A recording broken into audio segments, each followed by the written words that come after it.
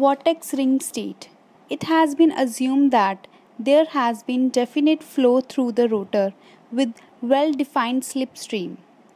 In vertical descent, it is clear that the relative upward flow will prevent the slipstream from forming. If relative flow become large enough and some of air recirculate the rotor, it is known as the vortex ring state.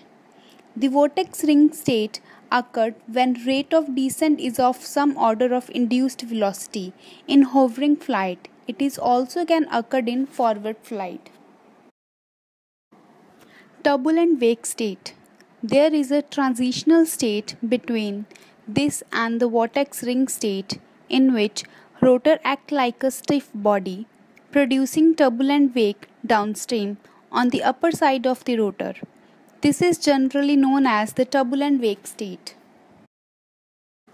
Windmill brake state. At higher rate of descent, the recirculation ceases and a well-defined slipstream developed again.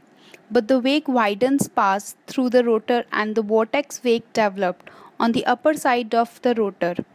In contrast to the vertical climb case, the air slows down on passing through the rotor and the condition is known as windmill brake state.